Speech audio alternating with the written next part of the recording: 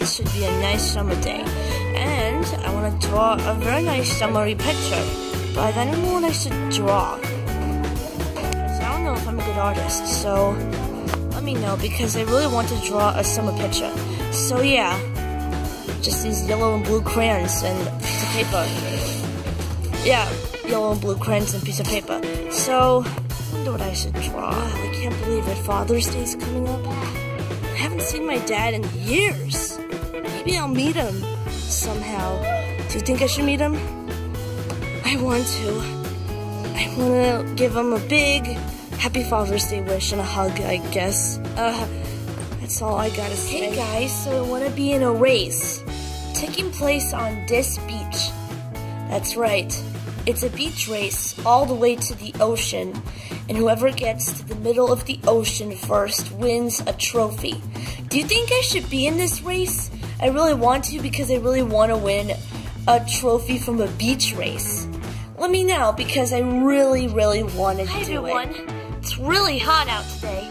I'm in line at Checkers because I'm getting four shakes for the four of us um, at the beach, but I want to get it to them I want to get the shakes to them without spilling them. Do you think I can do that? Because right now, I have like sandals on my feet and it's really hot. It's like 85 degrees. So I don't know if I'll be able to make it on time. Uh, I really hope it doesn't take an hour. Well, actually, it's taking a minute. So I hope I can get it to them without spilling them. I don't want to spill the shakes. Hi there. I don't know if you noticed, but these are some of Daisy's blocks. Daisy really loves her blocks. And they help her spell. Like, let me try spelling a word.